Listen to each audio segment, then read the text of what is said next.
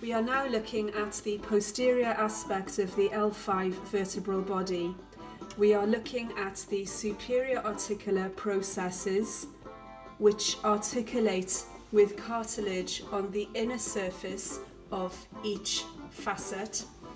We have the transverse process right, left, the superior end plate, spinal canal, lamina, lamina, spinous process, inferior articular process, and inferior articular process with the articular cartilage facing outwards on both the right and the left aspects of the vertebra.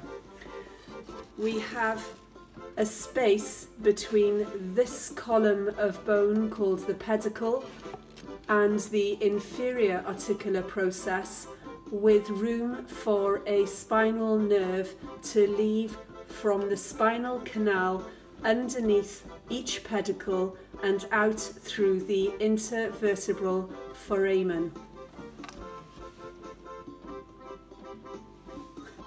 The superior articular processes of the L5 vertebra articulate with the inferior articular processes of the L4 vertebra like this. The facet joints articulate to allow for distraction and a small amount of lateral flexion left and right as well as a very small amount of rotation.